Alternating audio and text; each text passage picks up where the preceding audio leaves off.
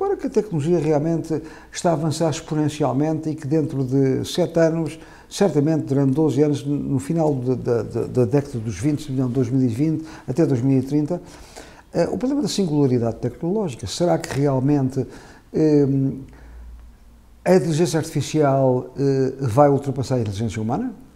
Uh, será que realmente uh, isso é uma ameaça, como há muita gente que está preocupada, o Elon Musk, o próprio do, do professor Steve Hawking, que, que, morreu há pouco tempo, uh, e, e, isso são tudo preocupações. O time, o time Berners-Lee também, ou é realmente o outro lado da equação, pessoas como o Ray Kurzweil da Google, pessoas como o Mark Zuckerberg, diz que não, temos que ir para a frente, isto é uma Agora, que há estudos já, e um, por exemplo, um estudo clássico sobre automatização e robótica de dois académicos de Oxford, Frey e Osborne, que dizem, olha, dentro de 7 anos, final de 2025, mais ou menos, 47% de todos os jobs vão ser automatizados.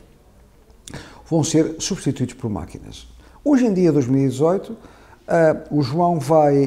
Uh, incrível, vai aos Estados Unidos e já hoje em dia universidades a dizer nós aconselhamos a não fazer curso de Direito. Porque se eu puser, hoje em dia, em termos de mobilização humana, e eu sou, porque neste divide eu estou pela uh, Human Amplification, Human Augmentation. Eu quero que a tecnologia sirva a seres humanos e que ajude e complemente.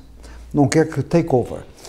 Agora, o que é um facto é que se vai um advogado, o advogado, por muito que tenha nota, porque tenha tido o seu curso de Direito, eh, não tem conhecimentos suficientes para saber imediatamente a nova legislação, as implicações da, legislação da, União Europeia, as cláusulas todas, etc.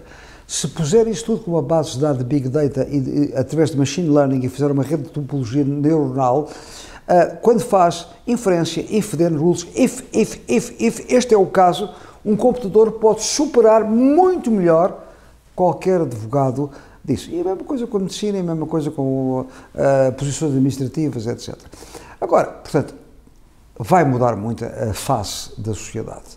E demonstra que se puser isto tudo acumulado, que as pessoas estão a viver mais longe, uh, as pessoas estão a passar mais tempo na educação. Hoje em dia, ter um certo grau académico, licenciatura, so what? Even mestrado, so what?